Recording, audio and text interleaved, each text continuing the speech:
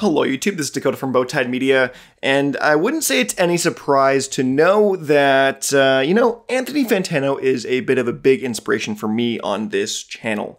I mean, look at my setup. I have a green screen wall here, exactly like he does. I sort of in the middle. I've got uh, not a ton of records. I got some stuff here. I've, I, I take after the channel quite a bit. I like to do reviews, even though I, I, I wish I liked doing them more, uh, but I do reviews. I do monthly roundup stuff. I do, I do a lot of stuff that Anthony Fantano does because I think his formula is great. I believe his content is amazing.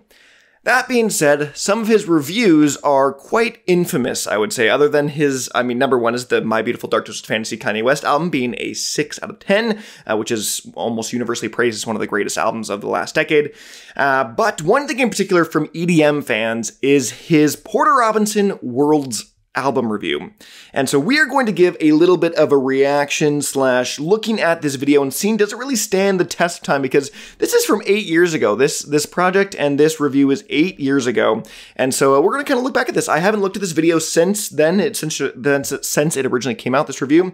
But uh, let's go back and uh, watch it and listen to it. So uh, I must say, uh, first of all, um, two things I noticed. Number one, uh, yellow flannel. He gives it a yellow flannel, uh, and I, am not sure if this was really canonized at this point. If the yellow flannel was canon as this, like it's going to be a good album, because nowadays yellow flannel is a good album, red is a bad album. That's sort of what he does. That's his style, and so even though he doesn't give it a good score, a spoiler, he does give this a 5 out of 10. He gives it a 5 out of 10, the album in the end. And uh, look at this like to dislike ratio. Look at that. That is horrible uh, because people do not like his review of this. So quickly, let's get into this and uh, see what we think of this, uh, this review from Anthony Fantano.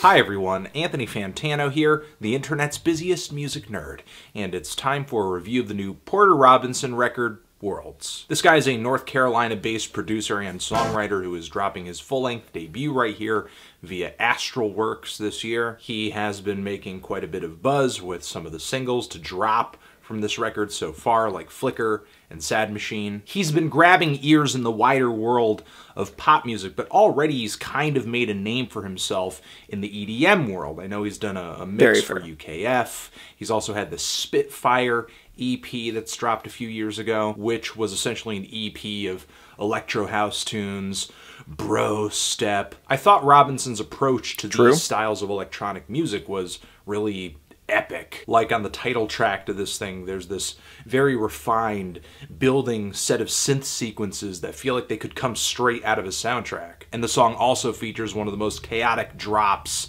I've ever had the pleasure of laying ears on. With EDM at the top of Okay, so this is very fascinating. So we're a minute in, and he spent a seventh of the video sort of talking about his Spitfire EP beforehand, um, which is universally Porter Robinson's weakest project. I think it is. It is no doubt to say that it, it's probably his weakest project. Um, very different. Yes, he was right. The very bro kind of dubstep electro house age, and uh, people. It didn't. It didn't really age well. It wasn't as fantastic off the bat, and so it's fascinating to hear him compliment Spitfire when this album in particular, Worlds, that he didn't really appreciate, is like was a defining moment in EDM history. So very fascinating mainstream music culture right now, I would figure that Porter Robinson could just continue in this lane, continue in this genre, and he would just gain fans as a result of naturally being involved in a style of music that's hot right now. But instead, he's decided to change up his musical style into something that I think has a bit more crossover appeal. Because on this LP, Rob Totally fair, totally fair, which makes sense. He Porter Robinson totally could have gone the route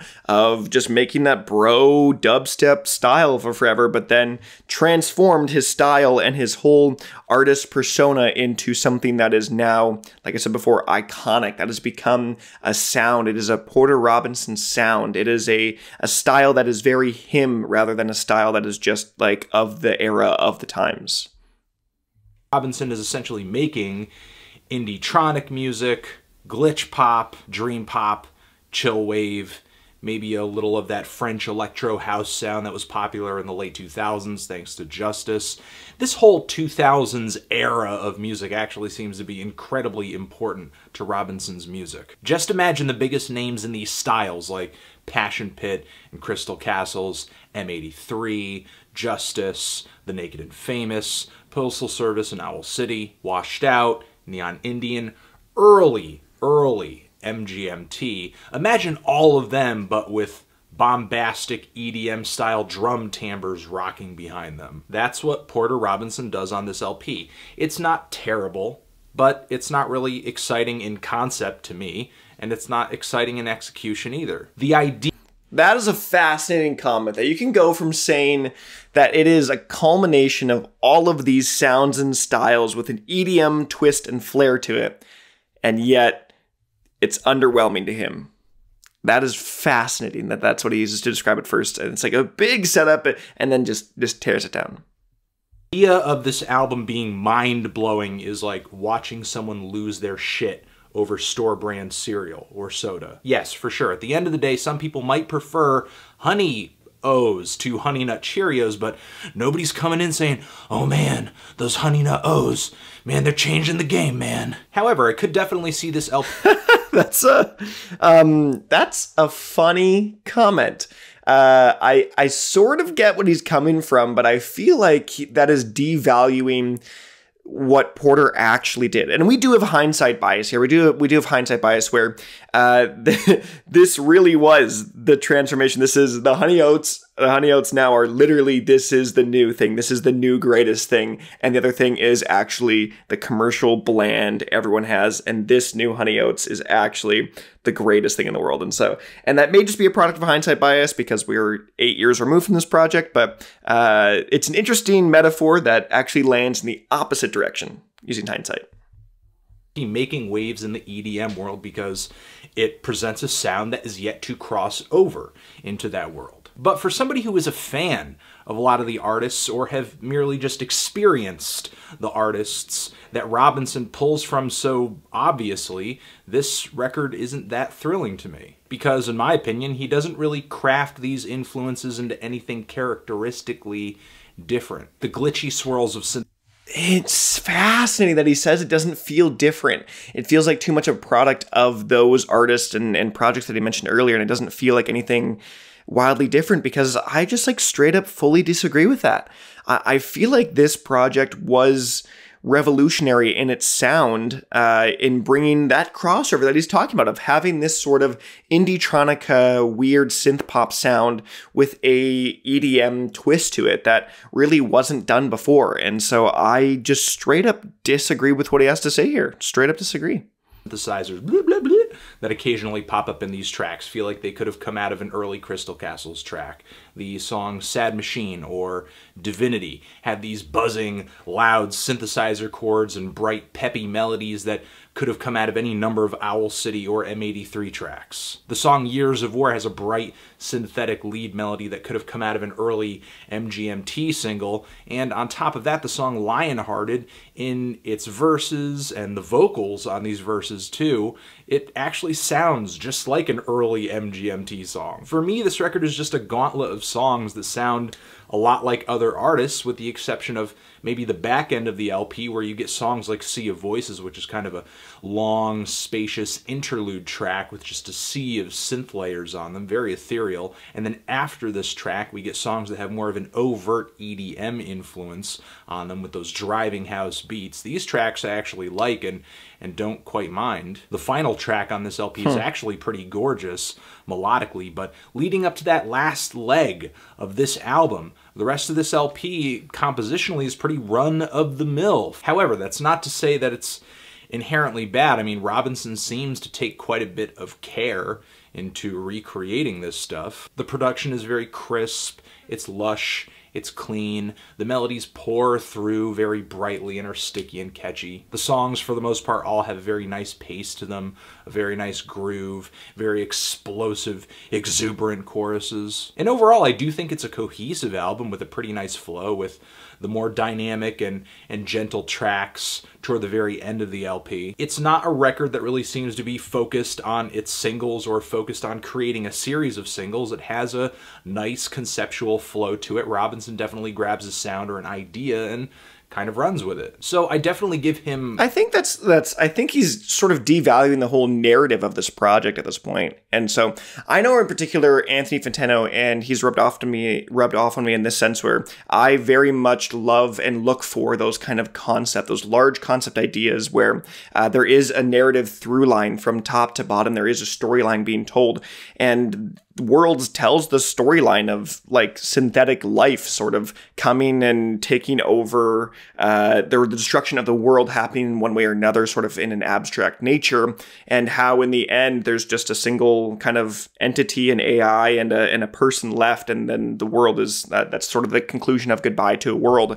So I I'm I'm shocked that for someone that loves conceptual conceptual through lines that Anthony didn't really copy or didn't really what's the word Did, didn't really stay or so I don't know. I'm just surprised that Anthony, for someone that loves those conceptual through lines, didn't really feel like the need to talk about it in length. Maybe he will later, but just felt like it wasn't maybe as overt uh, through the listening th- through. And so I I don't know. I don't know. Fascinating. Fascinating to me kudos on on trying to craft a holistic, ambitious record. And there are some whimsical melodies buried in the very loud EDM style production on this thing, even if they are a little smothered and mostly delivered with these very cutesy female vocaloid vocals. So you're kind of getting this really cute baby pinch the cheeks of a robot kind of feel. And then there are tracks That's like a great way Flicker, to put it. which have a very nice strong funk electro groove to them and a sort of dirty, grimy, distorted bass line. Directly after, there's Fresh Static Snow, which I think has an even more distorted bass line.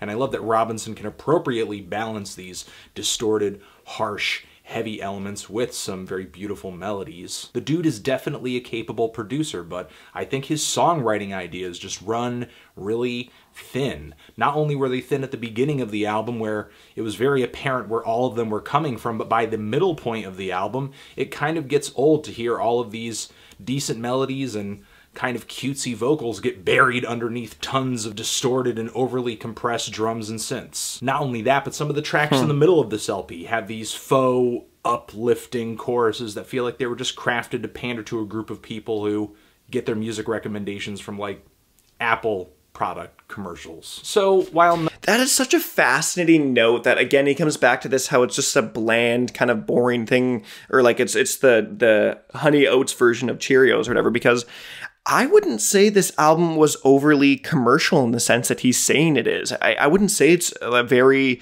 uh, very wide-reaching, friendly. It isn't very commercial. Isn't very uh, like easy listening to kind of get into. Yes, there's there's those kind of bigger tracks he's talked about here that that feel like a little bit more uplifting and feel that kind of easy to get into.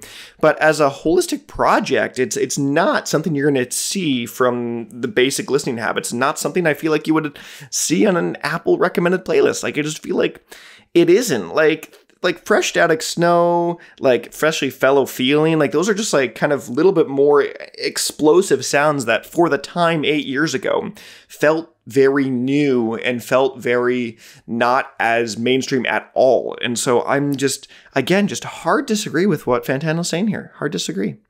No this is not like a god-awful album or anything like that. I can't really say I'm enjoying it. Honestly, I enjoyed his last EP so much more, and I would have rather heard him follow through on that EDM style. I think he was some. That is by far the statement that is i believe is the the least the least aged the the most poorly aged. And i think he would genuinely go back on that statement. Now after hearing nurture and him giving nurture a good review um, i would say he would definitely walk that statement back now where he said porter robinson should have just stuck to the bro step. Uh, i think uh, i think he would have walked that back uh, in in hindsight. Much closer to a distinct sound going in that direction. With that, it feels like on this record he's kind of hit the reset button because now he just kind of sounds like any other artist toying with these sounds. For sure, yeah, his drum Any artist toying with these sounds? Who's toying with these sounds? You at the beginning said that yes, it's a mix of MGMT, M83, Owl City, all these different artists, but like it was an EDM fusion of that that was more EDM focused rather than this kind of indie tronica, indie electro pop focus. And so, who else was doing this at the time? People aren't doing this at the time. Like, I just, again, hard disagree. Are louder, and he's using these Vocaloid vocals more than I think most artists do, playing with this style. But that's not really enough for me to celebrate it or bow to it or enjoy it. It's fine. If you're crazy about these styles of music more than I am, at least try it out. Robinson has been listening so closely that he has the technical side down. And like I said, it's not like he's doing these styles of music in injustice. It's just not anything incredibly exciting or refreshing to me in terms of the sound, the songwriting, which is why I'm feeling a strong 5 to a light 6 on this thing. Transition, if you've given this record. So I get it. Obviously, this is his own opinion. This is his thoughts. This is his idea on the project. But I just feel like I don't know. I just feel like he got it wrong. I feel like he, again, obviously it's his opinion. He can think whatever he wants. That's the point of music reviews. But uh, I just feel like, just statement wise, and where this album landed in the whole musical landscape in the end, just felt like, I don't know, this album was praised a lot at the beginning and it's praised in hindsight. And I just think, I just think it's a style that Anthony just, just didn't get, that he just didn't understand. Just like I don't really get 100 gecs. I don't get the hyperpop stuff right now, and so I don't really appreciate it. And I think this is the same way Anthony just didn't quite get it. So that's it. Um, but before we leave, we will uh,